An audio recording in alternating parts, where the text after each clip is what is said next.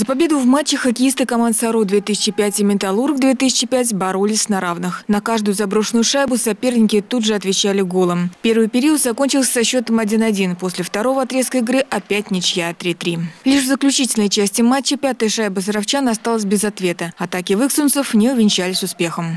Возможно, где-то усталость моральная накопилась. Плюс это такой пик сезона, что и травмы где-то маленькие, небольшие, говорю, моральную утомляемость. Плюс много ребят не было основных. Металлург приехал в Саров без шестерых игроков основного состава. Поэтому за команду играли ребята 2006 и 2007 года рождения. После проведенного матча выксунские хоккеисты находятся на шестой строчке турнирной таблицы. Команда потеряла турнирную мотивацию в плане борьбы за выход в плей-офф, то есть потеряли шансы. Поэтому немного не настроились, но не оправдывает нас. Как бы результат очень безобразный, ребята сыграли очень плохо.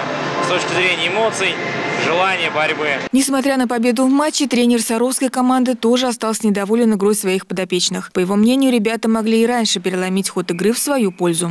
Немножко удаление подвели. Если бы не удаление, то уже после второго периода можно как бы было спокойно играть. Но вот то, что дисциплина немножко подвела удаление, и счет 5-4 в конце как бы дали шанс почувствовать команде соперника, что они могут выиграть.